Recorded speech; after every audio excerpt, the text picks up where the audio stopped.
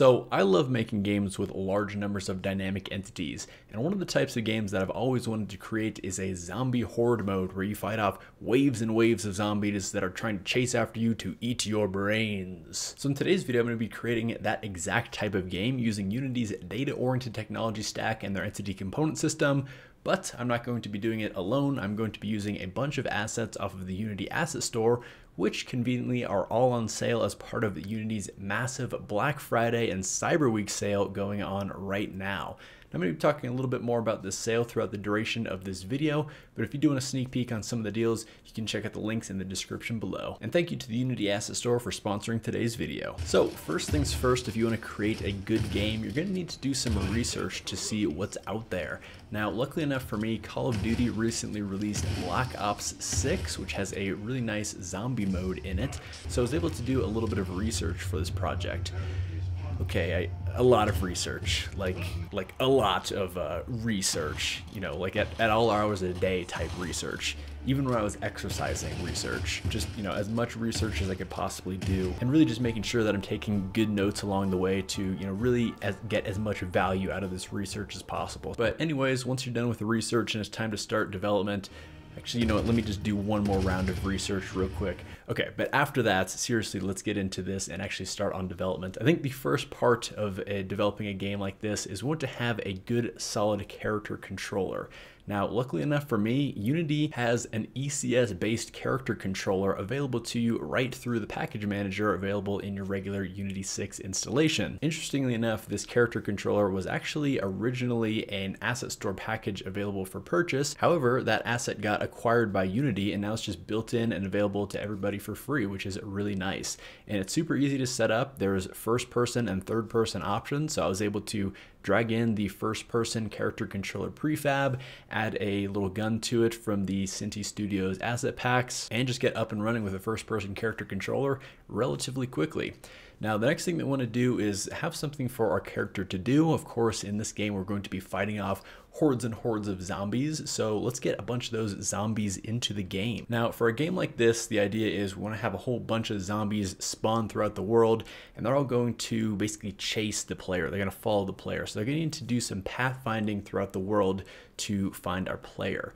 Now, in this case, we want to have large numbers of these zombies just to make it, you know, much more fun and interesting. So the best way to kind of go about doing this, where we have a lot of large numbers of zombies all pathfinding their way to one position, aka where the player is, a really fast and efficient way that we can do that is by using flow field pathfinding, which does exactly that. It basically creates a grid across the entire game map and tells zombies anywhere in the map where they need to go to basically find their way to the player and avoid obstacles along the way. Now, I would recommend that everyone actually go through the exercise of creating one of these flow fields by themselves to kind of, you know, learn what goes into them because it is a good algorithm to know. However, in this case, I want to get something up and running as fast as possible. So a great out of the box solution for that is the Agents Navigation Crowd Package. Now, this is an expansion off of the Agents Navigation base package, which is also required if you want to use this asset. And it is very easy to set up and it's compatible with both ECS as well as regular game object-based projects. And it has really good performance. It's also extremely well documented and very easy to extend off of in my experience. Now, both these asset packs, the Agents Navigation base as well as the Crowds expansion, are both available as part of Unity's Black Friday and Cyber Week sale, which is going on right now. And there's over 650 other assets that are also part of the sale, all available at 50% off or more, which is really exciting. So again, you can go check those out using the links in the description below. So anyways, needless to say, I was able to get up and running with these zombies chasing the player relatively quickly. Now, right now they're just kind of running around in T-pose, which of course looks a little bit silly for this kind of portion of the demo, and so I want to get some proper animations involved. Now, one of the issues with this, as many people may be aware, is that Unity does not provide any ECS or DOTS compatible animation solutions right out of the box. They are currently working on one, but that is still a ways away. So as of right now, we have to rely on third-party assets in order to get good-looking animations in our ECS-based project. Now, luckily, there is another asset on sale as part of the Black Friday sale right now, which is the Rukhanka ECS animation system. Now, this asset is really great because it allows you to play animations on ECS-based entities but it also uses a lot of Unity's built-in tools for you to set up those animations. So you use the same animator controllers and flow graphs that you would in just using Unity's regular animation solution. So if you're familiar with that, then you're going to be pretty familiar with getting yourself up and running with the Rukhanka ECS animation system. And so not only can we have just, you know, like a simple walk cycle that we just throw onto this, but we can also set up any of the regular animation parameters that we might normally set up. So we can have maybe some triggers for it to actually start playing the attack animations. And then after that, you know, it'll start playing just the regular walk cycle animation after that. So you can see a little demo where I just kind of have a key set up where it just triggers the attack animation on all these zombie characters. So at this point, I'm super glad that I have animations working in the project. Now let's add a little bit of variety to them because we don't just want, you know, all these zombies walking around with the exact same walk cycle. You know, we want to have a little bit of variety within our project. So Protofactor is one of the bigger publishers on the Unity Asset Store, and they have all different types of really great 3D models and animations. Um, so they actually do have a bunch of these animation packs, and they have a zombie specific animation pack that has a bunch of really cool and funny zombie walk cycles and attack animations and just, you know, anything that you would want to just kind of, you know, apply to a zombie character within your game. And this zombie animation pack is actually part of a bigger animation pack that they offer that includes 23 of these different animation packs, which has over 2,300 animation clips in them. So a lot of great variety if you're looking for any humanoid based animations. And a really cool thing about this animation collection pack is that as of right now, the day this video goes live, the asset pack is available on a flash deal. Now, what is a flash deal you may ask? A flash deal is where the asset actually goes on sale for 70% off for a limited time. And then after that, it's going to drop down to 60% off for a little while. And then once that time expires, then it's going to be at 50% off for the remainder of the sale. And Unity is constantly adding to these flash deals every single day. So make sure you check back in through the course of the sale so you can get some really steep discounts on some awesome assets. So anyways, back to the zombie pack, I was able to wire up a good variety of these animations and apply them to the zombies. So now they're all going to spawn with a random walk cycle. And again, we can have the different animations for, you know, attacking the player and when they actually receive damage when we get to that port. So speaking of, now is the time to actually add in some combat. So I'm gonna start with the player.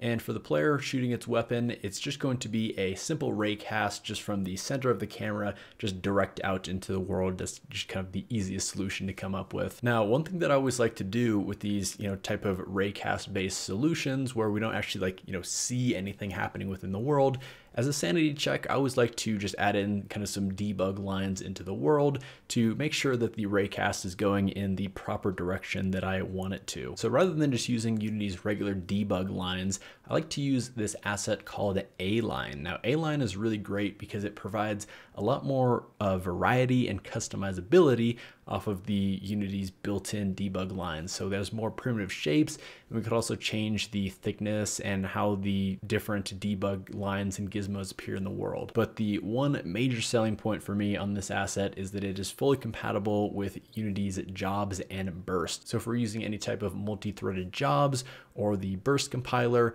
we can still draw debug lines from those contexts, which you normally would not be able to do with the regular Unity's debug lines.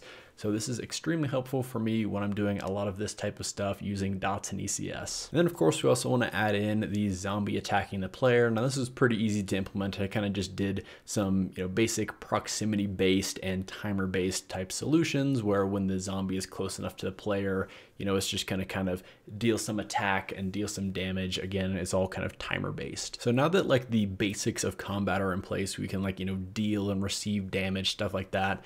I definitely want to polish this up and just make it feel a lot more like a real FPS game. So I'm just gonna rapid fire through a couple things that I did to make this game a little bit better. And of course, all the assets that I mentioned here are 50% off as part of the big sale. So I used the Epic Toon effects to create this little muzzle flash when the player shoots the weapon. And then also have this tiny little reload animation that plays when the player uh, reloads their weapon, whether they press, the reload key or they run out of ammo, it'll automatically reload for them.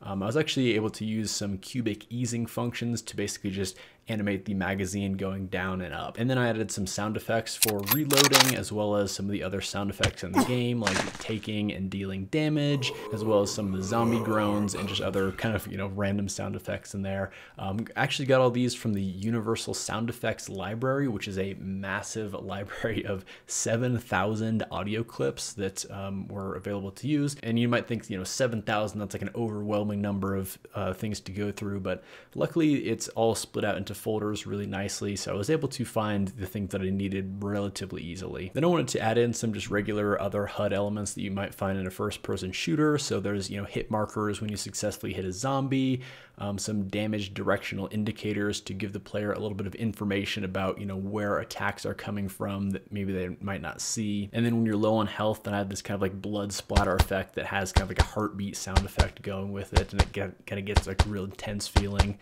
Um, but then yeah, just kind of wanted to tie everything together, have a nice background track in there. So I um, have this track called Electric Death Match, which I got from the Game Music Treasury asset, which is another massive collection of 550 background tracks that you can play for various moods and genres.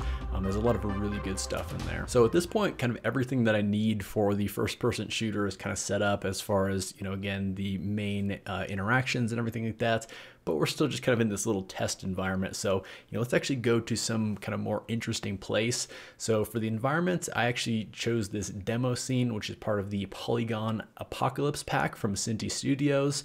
Um, they have a lot of really great low poly assets. And this is actually where the zombie models came from as well. And just the demo scene that they had was a really great base to go off of. Of course, I made a little bit of adjustments here and there to you know create a couple different zones for the player to basically maneuver through. So the idea here is the map is kind of broken up into a couple different sections, and then you fight off the enemies in the first area, kind of the trailer park area, and then you move over to the more suburban city area, and you fight off a bunch of zombies through there, and then finally you go to the last portion where there's a big all-out battle with a bunch of zombies in the motel parking lot. And so anyways, that's a little story about how I created this fun zombie horde mode, which I'm calling Call of Dots Zombies, and it is available right now if you do want to play it over on itch.io. There should be a link to that down in the description as well. And then once again, thank you very much to the Unity Asset Store for sponsoring today's video. Make sure you go check out the Black Friday sale. Of course, all the assets that I mentioned here are going to have links in the description where you can go check them out. And again, be sure to keep checking back for those flash deals where you can, again, get some really steep discounts on some awesome assets. So anyways, hope you all enjoyed today's video. Hope you have a fantastic rest of your day, and I'll see you in the next one.